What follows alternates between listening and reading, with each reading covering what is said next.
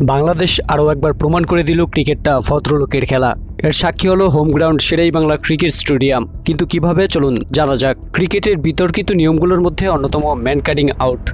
Bowler bowling action শেষ করার আগেই নন স্ট্রাইকার যদি পপিং ক্রিস ছেড়ে যান, তাহলে স্টাম্প ভেঙে দিয়ে তাকে রান আউট করা হয়, সেটিকে ম্যান কাটিং বলা হয়। ভারতের সাবেক ক্রিকেটার ভিনু ম্যানকার্ডের নাম অনুসারে এই নাম দেওয়া হয়েছে।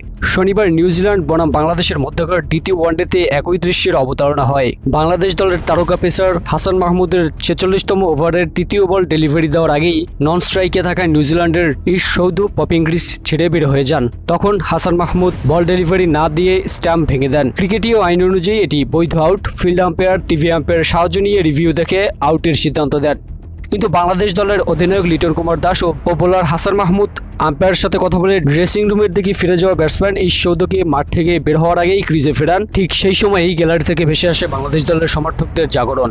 এর মাধ্যমেই বাংলাদেশের ক্রেজি ক্রিকেট ফ্যানরা প্রমাণ করে দিল ক্রিকেটটা ভদ্রলোকের খেলা আর বাংলাদেশ ক্রিকেট ফ্যানরাও ক্রিকেটটাকে মন থেকে ভালোবাসেন। টাইগারদের এই ভদ্রতায় মুগ্ধ হন ব্যাটসম্যান ইস সৌদ তিনি উইকেটে ফিরে নিজের হাত থেকে ব্যাট মাটিতে ফেলে দিয়ে হাতের গ্লাভস খুলে বোলার হাসান মাহমুদের সঙ্গে হাস্যোজ্জ্বল অবস্থায় কর্মর্দন করেন। টাইগারদের এই ভদ্রতায় মুগ্ধ সমর্থকরা। ক্রিকেট যতদিন থাকবে মিরপুরের শেরে বাংলার এই ঘটনাটি ক্রিকেট স্মৃতিতে অমলিন হয়ে থাকবে।